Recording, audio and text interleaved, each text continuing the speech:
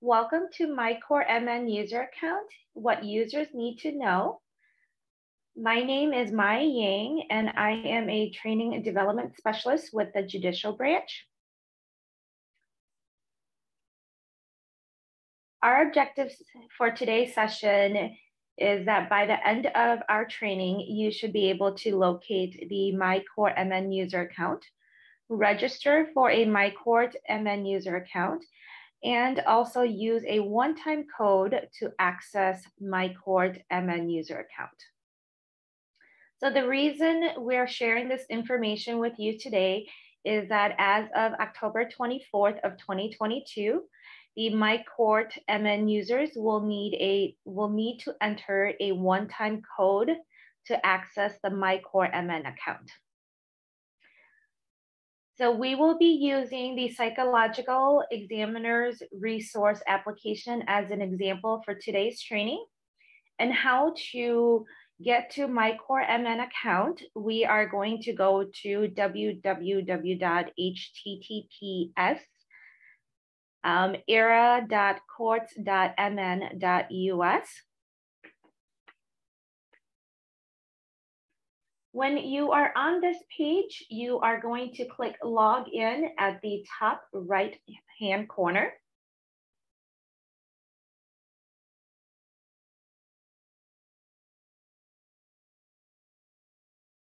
And this is going to take you into your MyCourtMN user account. If you have not yet registered for an account or you do not have an account, you are going to click on not registered yet, click here. You are going to put in your email address. You are going to create a password. Again, re-enter your password, enter your first name, last name. Your middle name is gonna be optional for you. And then you are going to want to enter a phone number. This is going to be where you select how to access or how you are going to receive your one-time code. You can either do it by email or you can do it via text. Once you select your preference, you are going to click register. When you click register, it will populate for you to go and look at your email. You are going to go into your personal email account. You are going to receive a MyCourtMN account activation email. You are going to open up this email and then click here to activate your account. Now, once you click there, it should automatically take you back into your uh, MyCore MN account. For any reasons at all, if it shuts down on you, the way that mine has here, that it has shut down on me, you are gonna go back into the, um, you're gonna go back into your era.courts.mn.us account. And then that will then take you into logging in again. I am just going to open up mine again so I can get back in there because mine has shut down.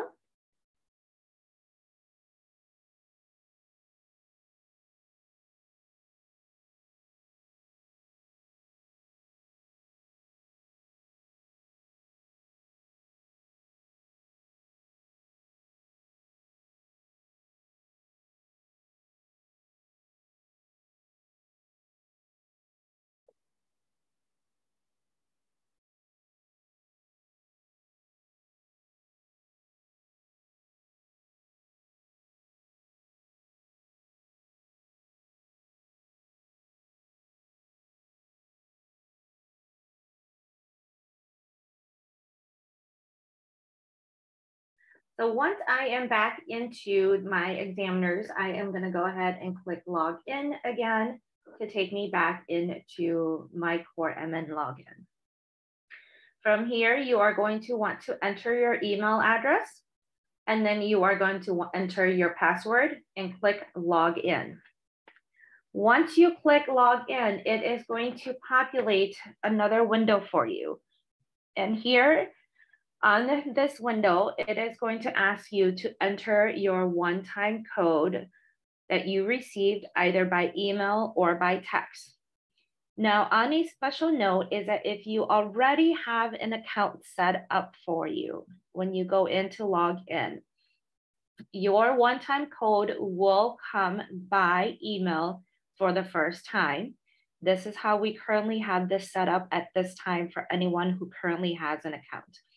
I will show you how to change this, this preference um, later in this training, but once you enter the code, you are going to click on verify code. I am going to enter my information.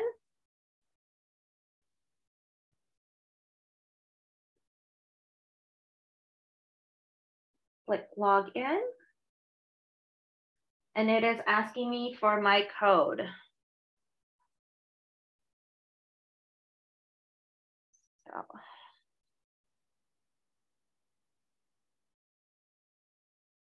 Once I've entered in my code,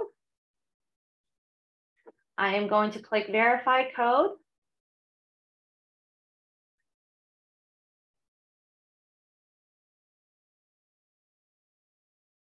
And then this will take you into your application once you verify this code.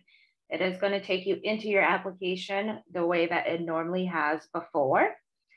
If you would like to change your preference where you do not receive it by email, or if you were receiving it, if you select a phone number and that phone number no longer belongs to you and you want to change this preference, you can definitely change this preference by clicking on this drop down arrow. You are going to select MyCourtMN settings. And in the My Core MN settings, you can then change your preference. You can do it either by, again, by email or by text, and then just click save. This green bar will populate to let you know is that your profile has been updated successfully. Once you've done that, you can go ahead and just click cancel. Um, and then it will then again take you back into your dashboard for you.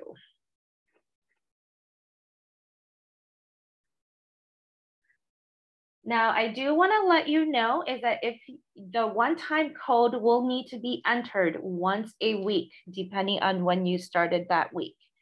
Um, you will be required to enter it once a week. If at any time you are using a new laptop or computer, or if you are using your same laptop and computer at a different location, for example, you used it one day at your work location, and then the next day you are working from home and you are using it at your home location, you will be required to enter that one-time code again. If you are having issues and you have already entered your one-time code and you are still not able to get in, you are going to want to submit a ServiceNow ticket request.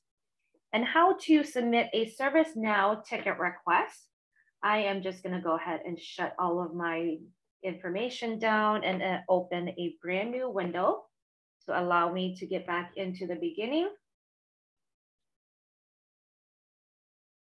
From this beginning page, if you have done that already and it has not worked for you, you can click on technical support requests right down at the bottom down here. If you click on this technical support request, it is going to bring up a technical support contact form. Please complete all of the required information. Confirm by checking this box that you've received an error or message and have a screenshot in case our service desk may contact you for that screenshot.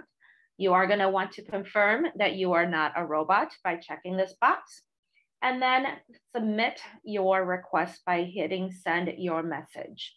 Our technical support team will, will reach back out to you to try to determine what is causing the issue and why you are able to not log in. Resources that are going to be available to you. Um, the resources is going to be on a, a quick reference guide called My Court MN User Account and how to locate that.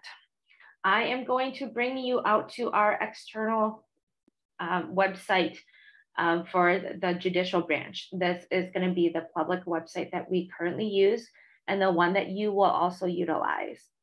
If you click on help topics, you are going to scroll down until you find your application.